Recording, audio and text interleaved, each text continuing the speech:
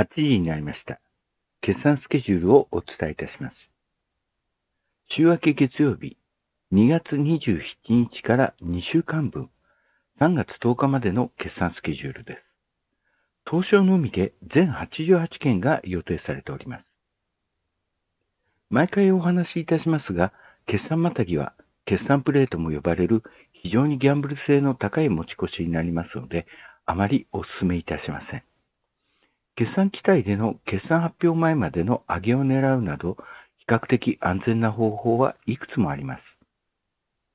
どんどん話していってしまいますので、気になるスケジュールについては一時停止してご覧ください。まず、2月27日月曜日から3月2日木曜日まで。2月27日は場中発表ですが、14時20分に東和フードサービス。28日はすべて引き後の発表で、ラクンホールディングス、ハテナ、ISP。このうち ISP は空売りが前週比で107.1%増えている状態です。信用外残の方も22.9%増えております。3月1日は伊藤園。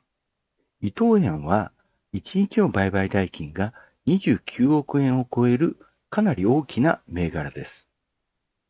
そして3月2日は場中発表で14時に先週電業、引き後になるとロックフィールド、ナトコ、第3。このうち先週電業は貸借倍率が0.62で、空売りの方が信用概算よりも圧倒的に多い状況になっております。ロックフィールドも貸借倍率が0.90で、空売りよりも信用買いの方が、あ、信用買いよりも空売りの方が多い状況です。3月3日金曜日は15銘柄が予定されております。日本ハウスホールディングス、大道グループ、T ライフ、日本スキー場開発、英検工業、高商、内田洋工、ハイレックスコーポレーション、日本駐車場開発、大和コンピュータ、ゼネラルパッカー、アインホールディングス、金本、ファースト重建、ピープル。このうち大道グループは貸借倍率が0.28で、信用概算よりも空売りの方が圧倒的に多い状態です。内田洋工は空売りが前週比でマイナス57.7%、空売りが引いてきている状態です。日本駐車場開発は1日を売買代金が3億円を超える中規模の銘柄です。アインホールディングスも1日を売買代金が5億円を超える中規模の銘柄です。金本は貸借倍率が0.92で、空売りの方が信用概算よりも多い状態です。3月6日月曜日から3月8日水曜日まで。まず3月6日はアスカネット。そして3月7日はファーマフーズ、富士コーポレーション、アイル、トラーソンプロダクト。このうちファーマフーズは売買代金が4億円を超える中規模の銘柄です。貸借倍率の方が0.87で、空売りの方が信用買いよりも多い状態です。そして8日になると、ビューティーガレージ、ミライアル、東京工機、B&P、東京楽天地、ハウテレビジョン、ステムリム。このうちビューティーガレージは貸借倍率が0.36で、空売りの方が信用買いよりも圧倒的に多い状態です。東京楽天地は空売りが前週比マイナス79.1%でかなり解消されてきている状態です。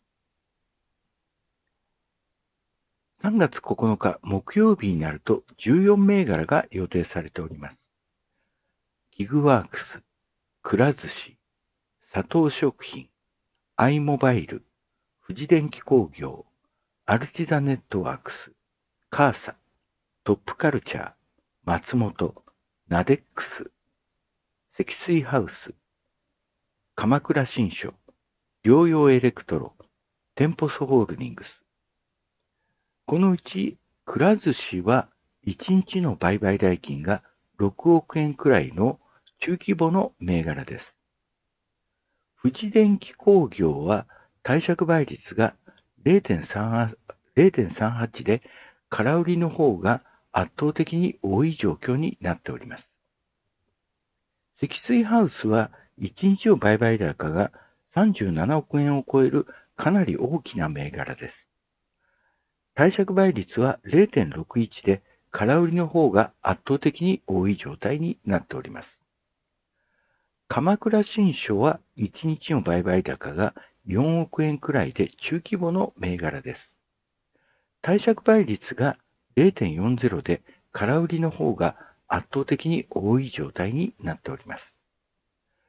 療養エレクトロは1日の売買代金が4億円くらいの中規模の銘柄です。空売りが前週比でマイナス70.0%、かなり空売りが解消されてきている状況です。次に3月10日金曜日は38銘柄が予定されております。ベステラ、ケア21、ランドネット、鳥貴族、RH、エイチーム、フリービット、 gumi、神島化学工業、ブレインズテクノロジー、エッジテクノロジー、ラクス。このうち gumi は1日の売買代金が9億円くらいの中規模の銘柄です。エッジテクノロジーは先週に比べて空売りがマイナス100%すべてなくなってしまいました。ラクスルは1日の売買代金が 6, 6億円くらいの中規模の銘柄です。続いて、組合化学工業、小原、インスペック、浜優、東方、メディア総研、SYS ホールディングス、CEC、単成者、モルフォ、ユークス、交際、天笠、ソフトウェアサービス。このうち東方は貸借倍率が0.95で、空売りの方が信用外よりも多い状態です。続いて、ヒーローズ、イトクロ、サムコ、OSG コーポレーション、ミロク、シルバーライフ、西洋圏、日東製網、ザッパラス、メディアシーク、大森工業、扉システムズ、以上が予定されている銘柄です。決算スケジュールについてお伝えいたしました。高評価、チャンネル登録いただけるととても嬉しいです。よろしくお願いいたします。